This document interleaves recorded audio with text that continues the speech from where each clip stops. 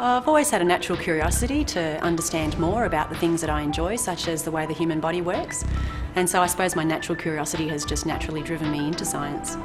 I'm an early career postdoc um, who has done one postdoc within a very large, well-funded laboratory, and now I'm breaking out into my own independent research, which is why the Women in Science Fellowship is extremely useful to me right now and absolutely awesome timing because it means that I can fund some, and initiate some new projects that are of interest to me.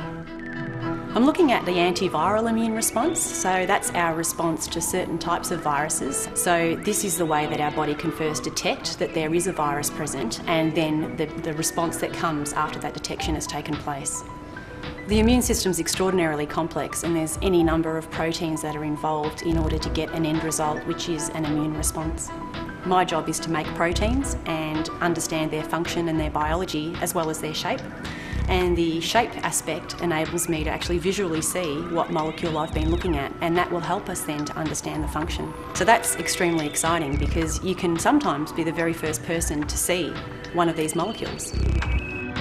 I had a Nature paper published in Nature last year and it was a tremendously exciting time and very fast paced but it was beyond my wildest dreams to publish in Nature.